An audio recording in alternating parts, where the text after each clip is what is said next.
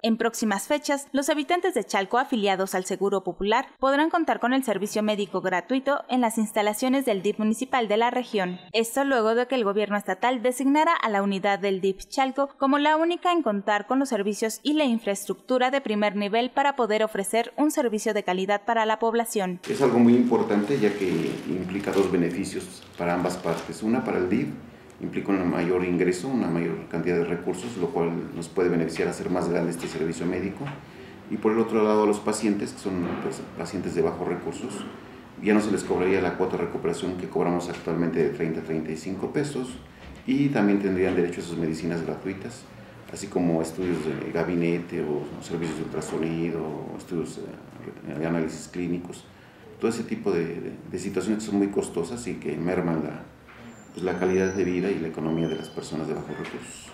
Este beneficio se logró luego de dos años en el que se llevaron a cabo dos revisiones por parte de la jurisdicción sanitaria de la región y dos auditorías por parte de la Dirección de Calidad de la Coordinación de Hospitales de Alta Especialidad. La acreditación se logró con una calificación de 90.18 puntos, por lo que esta unidad es considerada a nivel estatal como la única unidad de medicina externa del sistema DIF de los 125 municipios del Estado de México.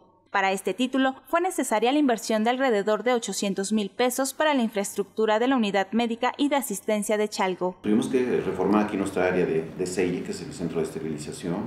Tuvimos que, ahora sí que invertir en la de inmunizaciones, en el cual tenemos un sistema de red de frío como si fuera un hospital, totalmente automatizada con una planta de luz a base de gas. Nuestra área de enfermería, invertimos en, en el área de colposcopía, todos los inmuebles o todo el, equipamiento médico es nuevo, el, equipo dental también es nuevo. No, no simplemente nos fuimos con algo nuevo, sino con algo de, de buena calidad. Para que la población sea beneficiada con este servicio, será necesario estar afiliado al Seguro Popular, por lo que a partir de enero del próximo año se instalará un módulo de afiliación para quienes deseen tramitarlo. Reportó para Canal 6 Edenis Mondragón.